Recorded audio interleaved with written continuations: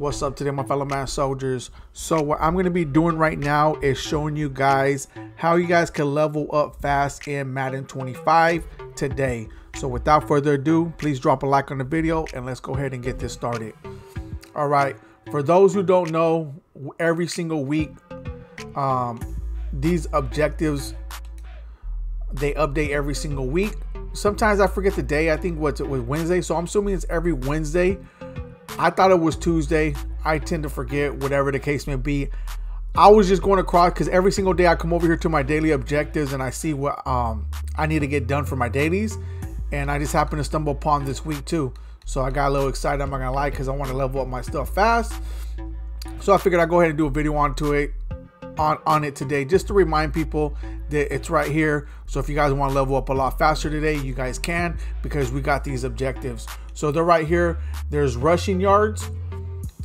So how much rushing yards we need? We need 2,500 rushing yards. We need 12 interceptions, 400 kickoffs, and then 30, 30 sacks. The thing I do like about this is the fact that as you go down, you're going to continue to get XP all the way up and towards the end. So it ain't like you got to get the 2,500 rushing touchdowns right away, which they've been doing. So that that's a win. But the reason I bring that up, if you go to your daily objectives, they actually add that concept to daily objectives. And I told you guys, it's very rare, but that's an EA win in my opinion, which I haven't been saying that too much lately um, because, you know, they've been doing a lot of crazy, funny stuff. But the thing is, this is a this is a win because once again, if you happen to go online or if you happen to play a, a, solo battle or whatever the case may be, whatever it is, and you don't you're not able to get the 25 completed passes that day just because you're busy or something hey at least you'll get some type of xp for it and it will help you guys out right? So that's cool. Matter of fact two of these today are for completed passes. Um, so that's actually going to be good.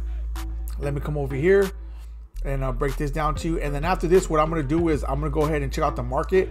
There is a few players that actually, or I'm to say what players, but there's more of a few positions that went down that I want to go over and talk to you guys about that I felt that was very important. So I'm gonna go ahead and go over that right now. But once again, just make sure you guys come over here and keep in mind. Oh, whoa, whoa. see, I was about to say something. I, I was about to lie by by by by accident, I guess you could say. Anyways, so two of these tracks in head-to-head solo seasons are solo battles, right? I thought all, I know your daily objectives they track in any mode, so I got I almost almost got a little confused right there. So I guess I do got to go over this. So keep in mind, these two right here, the rushing yards and the record interceptions, tracks in head-to-head, solo seasons or solo battles. Which a lot of us think we go to solo battles. I put on the lowest difficulty because there's no rewards from solo battles like that. So it's trash. So what I do is put the lowest difficulty and just knock these out.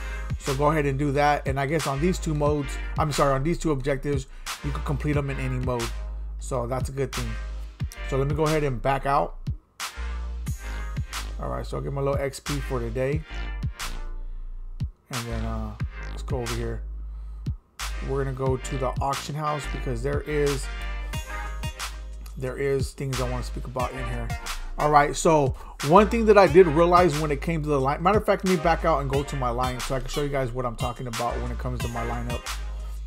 So this is the reason why I got familiarized with certain positions going down is because all my offense is cool. I end up with a wide receiver no matter what. I got my Legends tokens. I might get the Ocho Cinco.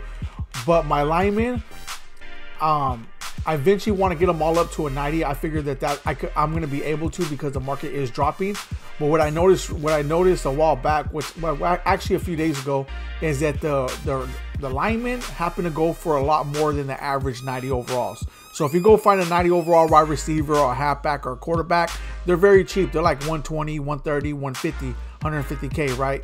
The linemen usually go for like 200, 250. They usually go for more, but there's one position um, where I put it like this: the the the, the lineman position are starting to go down in value, and I seen one actually went down dramatically. And keep in mind, I always do this, so let me go over here. I know the prices because I always check out the linemen, and I, I, I showed you guys in one of my videos how high they were. So if we go to right guard, I think the right guard one was the one that went down. So yeah, see, he's Will shows it down to 143. This guy was up to like 200, 250k. So this is actually not a bad price to pick up a right guard if you guys need one. It's actually starting to to um, coincide with the other 90 overalls, right? So I start to see this and I was like, okay, I'm gonna wait just a little bit more because when I want to when I upgrade my O lineman, I'm not gonna lie, I want to I want to just get it done that day. I just want to upgrade the whole thing. So I, I'm gonna wait just a little bit, personally because I want to upgrade all at once. But um, once again, I feel that this is a decent price for a right guard because a lot of the linemen are up in they're they're up in value. So 143 is not bad uh, for a 90 overall right guard. So check out these other these other uh, where is it at? Right tackle. So here's the thing about this. This is crazy, right? Just yesterday, this this right tackle was down to 200k, and I still thought that that was a lot. I was like, that's a lot. Now look at it.